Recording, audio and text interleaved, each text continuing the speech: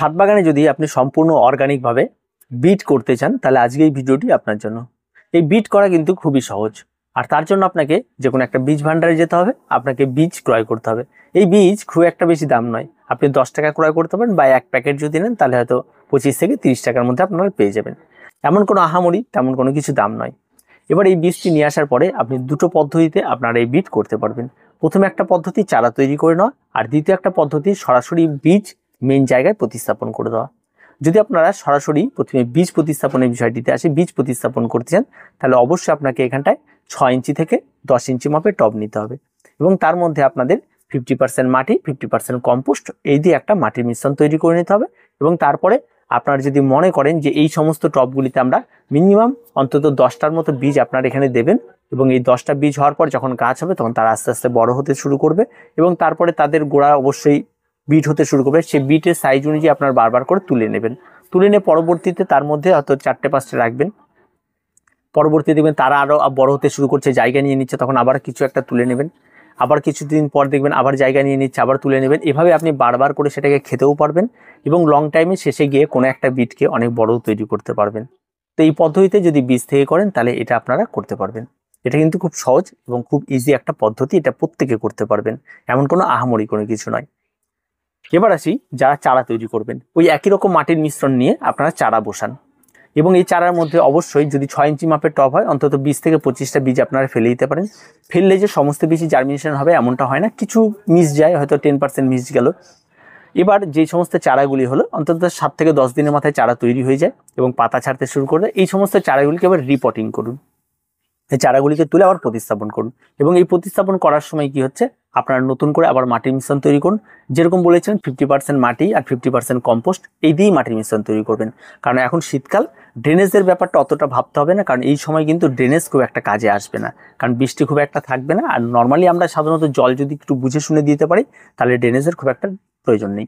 আর এই মাটির সঙ্গে অবশ্যই আপনাকে একটু মিশিয়ে দিতে হবে হাড়গুঁড়ো শিংকুচি নিমখোল এটা একদম সম্পূর্ণ অর্গানিকভাবেই করবেন এবং এটা মিশিয়ে দিয়ে মাটির মিশ্রণটিকে তৈরি করে নেবেন এবং তার মধ্যে যদি আপনার ফরাডন থাকে, একটু ফরাডন মিশিয়ে দিতে পারেন। যদি না থাকে, কোনো প্রয়োজন নেই। বাড়িতে থাকা হলুদ বা আপনার যেটাকে আমরা সবসময় বলি লঙ্কার গুঁড়ো, এই সমস্ত কিছু মিশিয়ে দিলেও কিন্তু খুব ভালো কাজ হয়। এবার আপনাকে প্রত্যেকটা চারাকে তুলতে হবে। তুলে তুলে আপনার প্রত্যেকটা টবের মধ্যে প্রতিস্থাপন করতে হবে। এখানে টবগুলি আমি যেটা নিয়েছি, সেটা ছয় ইঞ্চি মাপের টব এবং প্রত্যেকটা টবে দুটো থেকে তিনটে করে চারা আমি বসিয়েছি।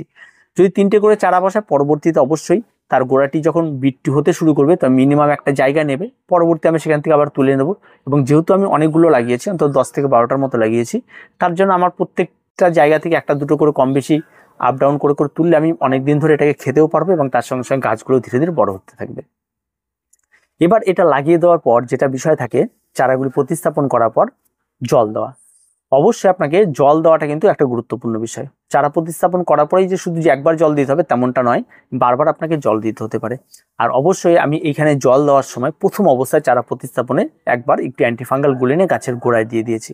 এটাতে তেমন কোন রকম কোনো বিশাল কিছু হবে না, কারণ তাতে কি হয় যে মাটিটিতে থাকা বিভিন্ন ধরনের ব্যাকটেরিয়া যারা ছোট্ট ছোট্ট গাছের গোড়াকে পচিয়ে দেয়, তা সেটা কিন্তু বন্ধ হয়ে যাবে।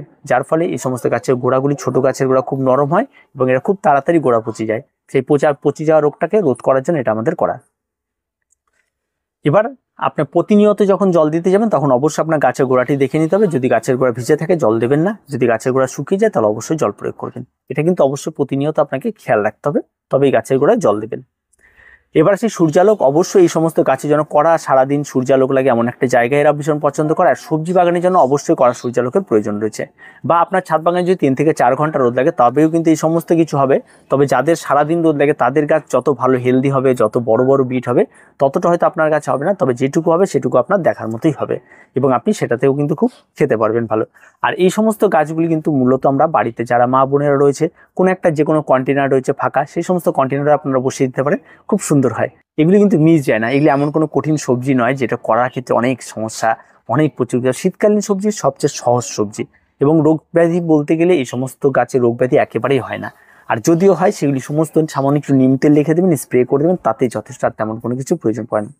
তবে হ্যাঁ মাঝখানে একবার আপনার ফার্টিলাইজার ব্যবহার করতে হবে, যখন গাছগুলি বেশ লেগে যাবে, অন্তত একুশ দিন পর তখন আপনাকে একটা গাছে ফার্টিলাইজার দিতে হবে। আর এই ফার্টিলাইজার যদি আপনি গাছের প্রতিনিয়ত আপনার ছাদ বাগানে খোল পচা জল বা লিকুইড ফার্টিলাইজার সবজি পচা জল এই সমস্ত কিছু ব্যবহার করেন, তাহলে আপনাকে আর কিচ্ছু করতে হবে না। পনেরো দিন অন্তর অন্তরে এটা আপনারা জলে ভিজিয়ে ব্যবহার করে যান, তাহলেই যথেষ্ট। আর কিচ্ছু লাগবে না।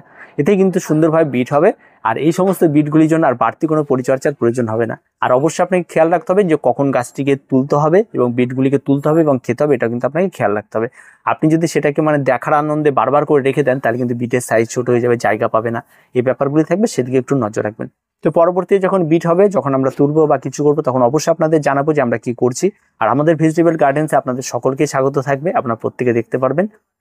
আর তার সঙ্গে সঙ্গে যারা নতুন রয়েছেন, নতুন এই সমস্ত কিছু করতে চাইছেন, তাদের জন্য এই ভিডিওটি রয়েছে। আর নতুনরা অবশ্যই সাবস্ক্রাইব করে রাখবেন, তাহলে আমাদের নতুন নতুন ভিডিও অনেক কিছু আপনারা শিখতে পারবেন। কারণ মূলত আমরা এবছর নজর দিয়েছি ভেজিটেবল গার্ডেন্সের ক্ষেত্রে এই কারণেই, কারণ আমাদের প্রত্যেকেরই হেলথের কথা ভাবা হয়েছে এখানে, আর তার সঙ্গে সঙ্গে গার্ডেনিংয়ের কথা ভাবা হয়েছে। দুটো একসঙ্গে হবে এবং সব কিছুই মানে পরিপাটি করে একটা organic gardening vegetable organic gardening একটা অত্যন্ত গুরুত্বপূর্ণ একটা বিষয় এবং সেটাও আমাদের প্রয়োজন রয়েছে। আর তো আর কিছু বলার নেই, আজকে এ পর্যন্ত দেখা হবে পরবর্তী ভিডিওতে। প্রত্যেকে ভালো থাকবেন, প্রত্যেকে সুস্থ থাকবেন, আর চ্যানেলটিকে অবশ্যই অবশ্যই সাবস্ক্রাইব করে রাখবেন।